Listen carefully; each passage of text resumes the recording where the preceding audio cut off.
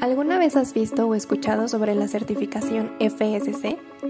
Seguramente en tu vida diaria has adquirido productos como papel higiénico, cuadernos, muebles de madera, carbón, bolsas de papel para llevar tus compras, empaques y envases de tus alimentos, medicamentos, productos de belleza o cualquier producto hecho de papel o cartón. ¿Sabías que gran parte de la materia prima para la fabricación de todos estos productos provienen de los bosques y selvas? Pero no solo generan este tipo de productos, sino que también nos brindan servicios ecosistémicos como el agua, la captura de carbono, biodiversidad, turismo, suelos productivos, entre otros, que nos benefician.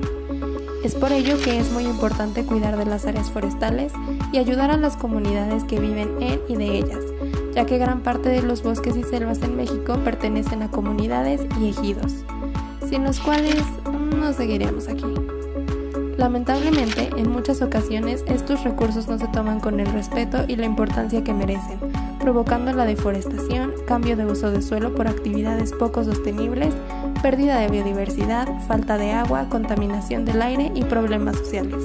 La buena noticia es que existen herramientas que ayudan a vigilar el buen manejo del bosque, como es la certificación FSC, la cual vela por la seguridad de los trabajadores del bosque Garantiza el manejo responsable de los recursos naturales, ayuda a cuidar la vida silvestre y promueve mercados justos y sostenibles. Para que un bosque perdure para las futuras generaciones, se desarrolla un plan de manejo forestal, en donde se dividen las zonas del bosque, por ejemplo, asentamientos humanos, áreas de conservación y áreas de aprovechamiento. El plan de manejo forestal que realizan comunidades y ejidos sirve para tener un ordenamiento territorial donde designan áreas para la corta de árboles, las cuales una vez aprovechadas se vuelven a reforestar y pueden utilizarse nuevamente en el futuro.